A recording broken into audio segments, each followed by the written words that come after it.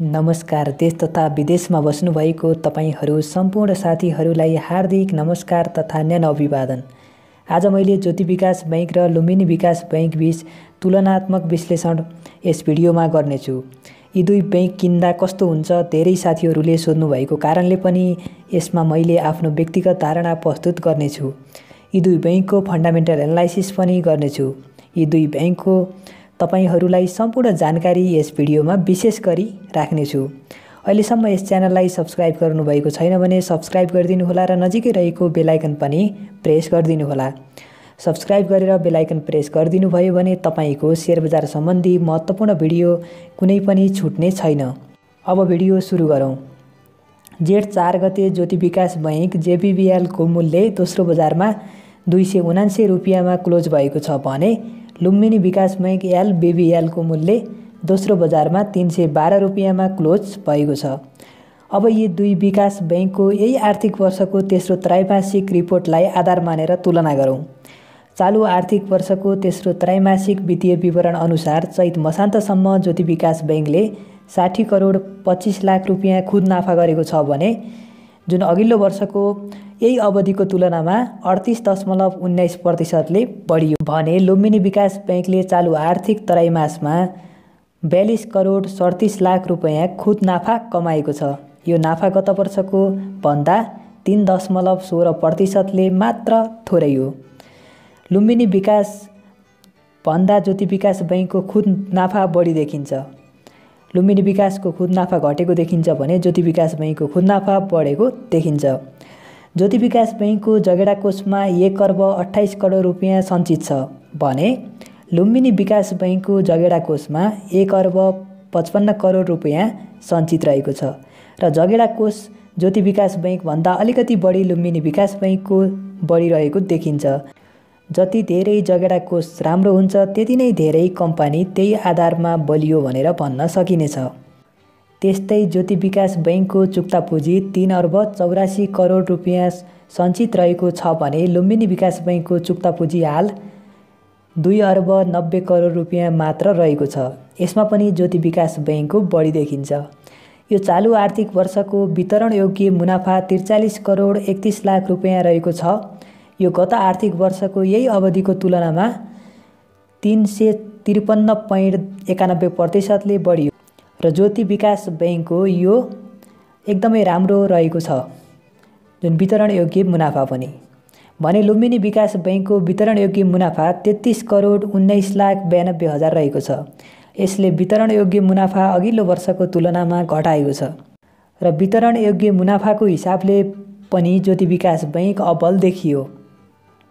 वितरण योग्य मुनाफाले यो वर्ष बोनस दिन सक्ने क्षमतालाई देखाउँछ। त्यसै गरी ज्योति विकास बैङ्कको खुद ब्याज आम्दानी छ दशमलव बत्तिस प्रतिशतले घटेर एक अर्ब एक करोड उन्नब्बे लाख रुपियाँमा सीमित भएको छ भने लुम्बिनी विकास बैङ्कको खुद ब्याज आम्दानी पनि पाँच दशमलव तिरानब्बे प्रतिशतले घटेर चौरासी करोड पचहत्तर लाख रुपियाँमा सीमित भएको छ। खुद ब्याज आम्दानी पनि ज्योति विकास बैङ्कको नै राम्रो देखिन्छ। त्यसै गरी ज्योति विकास बैङ्कको सञ्चालन मुनाफा अडतिस दशमलव चौबिस प्रतिशतले बढाएर छ्यासी करोड चौध लाख रुपियाँ पुर्याएको छ। भने लुम्बिनी विकास बैङ्कको सञ्चालन नाफा पाँच दशमलव बाइस प्रतिशतले घटेर उन्साठी करोड अठाइस लाख रुपियाँमा झरेको छ र सञ्चालन नाफामा पनि ज्योति विकास बैङ्क नै अब्बल देखिन्छ।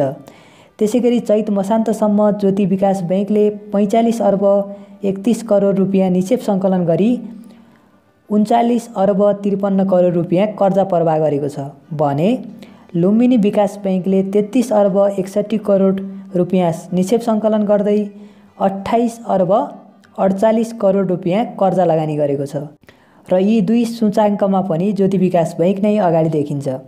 ज्योति विकास बैङ्कको रिटेन्ड अर्निङमा त्रिचालिस करोड उनसत्तरी लाख रुपियाँ रहेको छ र बैङ्कको खराब कर्जा एनपिएल जिरो दशमलव छत्तर प्रतिशतबाट घटेर जिरो दशमलव अन्ठाउन्न प्रतिशतमा झरेको छ। खराब कर्जा घट्नु भनेको बैङ्कको सबल पक्ष हो एकदमै। भने लुम्बिनी विकास बैङ्कको खराब कर्जा एनपिएल एक दशमलव साठी प्रतिशतबाट बढेर एक दशमलव छ्यासी प्रतिशत पुगेको छ। खराब कर्जा बढ्नु भनेको नराम्रो पक्ष हो। त्यसै गरी ज्योति विकास बैङ्कको प्रति सेयर आम्दानी इपिएस बढेर बिस रुपियाँ उन्नब्बे पैसा रहेको छ भने लुम्बिनी विकास बैङ्कको इपिएस उन्नाइस रुपियाँ चौवालिस पैसा रहेको छ। इपिएस पनि ज्योति विकास बैङ्कको राम्रो छ। र ज्योति विकास बैङ्कको बुक भ्यालु प्रति सेयर नेटवर्थ एक सय तेत्तिस रुपियाँ त्रिपन्न पैसा रहेको छ भने लुम्बिनी विकास बैङ्कको प्रति सेयर नेटवर्थ एक सय पैँसठी रुपियाँ सडसठी पैसा छ। प्रति सेयर नेटवर्थमा लुम्बिनी विकास बैङ्क अगाडि छ। तेस्रो रिपोर्टको आधारमा मूल्याङ्कन गर्दा लुम्बिनी विकास बैङ्कभन्दा ज्योति विकास बैङ्क धेरै राम्रो देखिन्छ। अब यी दुई बैङ्कले दिने गरेको लाभांश बिचको तुलना गरौँ। ज्योति विकास बैङ्कले दुई हजार छत्तर सतहत्तरमा बोनस सेयर दस प्रतिशत दिएको थियो भने लुम्बिनी विकास ब्याङ्कले तिन प्रतिशत क्यास र सात प्रतिशत बोनस सेयर दिएको थियो। ज्योति विकास ब्याङ्कले दुई हजार पचहत्तर छिहत्तरमा बोनस सेयर बाह्र दशमलव पचहत्तर प्रतिशत दिएको थियो भने लुम्बिनी विकास ब्याङ्कले पन्ध्र प्रतिशत क्यास मात्र दिएको थियो भने बोनस सेयर पाँच प्रतिशत दिएको थियो। त्यसै गरी ज्योति विकास ब्याङ्कले दुई हजार चौहत्तर पचहत्तरमा आठ दशमलव चार प्रतिशत क्यास बोनस मात्र दिएको थियो भने सत्र दशमलव जिरो सात प्रतिशत बोनस सेयर र दस इस्टु वान प्रतिशत राइड सेयर लुम्बिनी विकास ब्याङ्कले दिएको थियो। तिन वर्षदेखिको लाभांशलाई हेर्ने हो भने लुम्बिनी विकास ब्याङ्क र ज्योति विकास ब्याङ्क उस्तै उस्तै देखिन्छ। लुम्बिनी विकास ब्याङ्कको पी रेसियो सोह्र दशमलव जिरो पाँच रहेको छ। अहिले भने ज्योति विकास बैङ्कको पी रेसियो चौध दशमलव एकतिस रुपियाँ रहेको छ। यसरी हेर्दा अहिले लुम्बिनी विकास बैङ्कभन्दा ज्योति विकास बैङ्क किन्दा उपयुक्त हुने देखिन्छ। मेरो विचारमा तिन सय तलब ज्योति विकास बैङ्क किन्दा राम्रो हुन्छ। यदि तपाईँ ट्रेडिङ गर्नुहुन्छ भने पाँच सय हजार किताभन्दा बढी उठाउनुहुन्छ भने यी दुवै ब्याङ्क किन्दा उपयुक्त हुन्छ। बिस तिस रुपियाँ खाएर फाल्दा पनि राम्रो नाफा कमाउन सकिन्छ। यदि तपाईँ इन्भेस्टर हुनुहुन्छ भने पनि यी दुवै ब्याङ्कले लाभांश दिने भएकोले उठाउँदा अहिले उचित नै हुन्छ। चार पाँच महिनापछि त लाभांश खान पाइन्छ नै। कृपया यो भिडियो हेरेको आधारमा मात्र सेयर किनबेच भने नगरिदिनुहोला। सेयर किनबेच गर्नुभन्दा अगाडि अझ धेरै अध्ययन गर्न जरुरी रहेको हुन्छ। नेपाली सेयर बजार सम्बन्धी तपाईँहरूका प्रश्नहरू जिज्ञासाहरू छन् भने यही भिडियोको तलपट्टि कमेन्ट गरेर निर्धक साथ सोध्न सक्नुहुनेछ। आगामी दिनमा पनि सेयर बजार सम्बन्धी नयाँ नयाँ अपडेटहरू लिएर उपस्थित हुने नै छु। त्यति बेलासम्मका लागि बिदा हुन चाहन्छु। तपाईँहरू सम्पूर्णको जय होस्। नमस्कार।